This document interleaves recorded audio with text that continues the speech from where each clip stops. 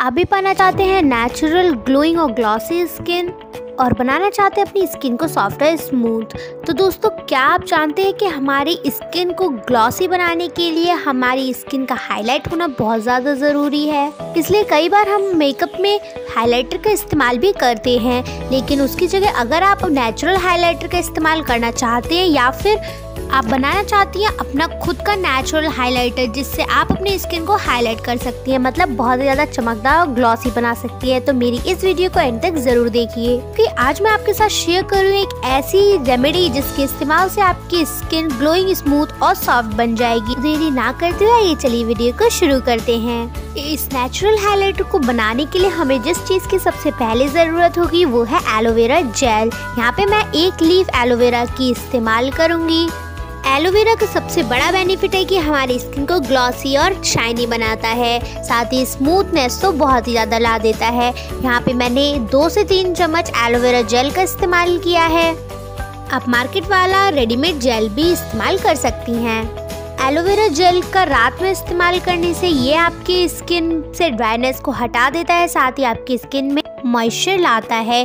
अब हमें जो नेक्स्ट चीज़ की ज़रूरत होगी, वो है लेमन लेमन में बहुत सारा विटामिन सी होता है, साथ ही इसमें साइट्रिक एसिड होता है, जो हमारी स्किन से ओपन पोर्स को ख़त्म करता है, साथ ही हमारी स्किन से डर्ट को निकालता है। यहाँ पे मैं एक से दो चम्मच लेमन जूस का इस्तेमाल करूँगी और इसमें ऐड कर दूँगी। इसको डालकर आपको इसको अच्छे से मिक्स कर लेना होगा। इसके इस्तेमाल से आपकी स्किन शाइनी भी बनती है और साथ ही कलर आपका फेयर होता है। अब हमें जिस चीज़ की नेक्स्ट ज़रूरत होगी वो है शुगर यानी चीनी। दोस्तों, चीनी हमारी स्किन को एक्सफोलिएट करती है, लेकिन जब हम स्क्रब में इसका इस्तेमाल करते हैं, यहाँ पे हम बना रहे हैं हाइलाइटर तो यहाँ पे चीनी का क्या काम है? दोस्तों, यहाँ पे चीनी हमारी स्किन को सॉफ्ट बनाती है, साथ ही साथ हमारी स्किन पे एक शाइनीनेस लाती है।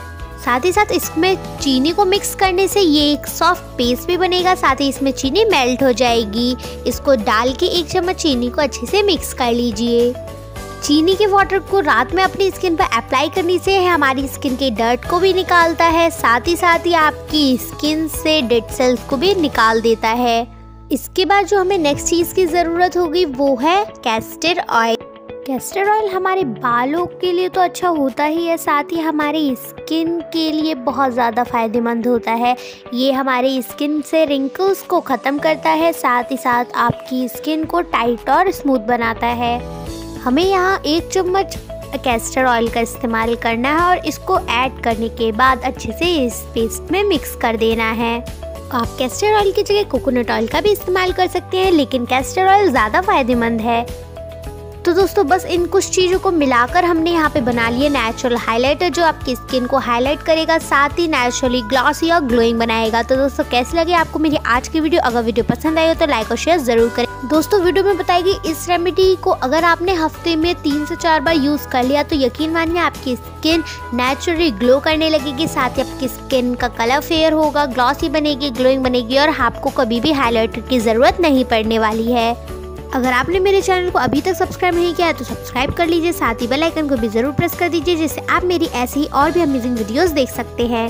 तो मिलती हूँ आपसे ऐसे ही नेक्स्ट और अमेजिंग वीडियो के साथ, तब तक के लिए बाय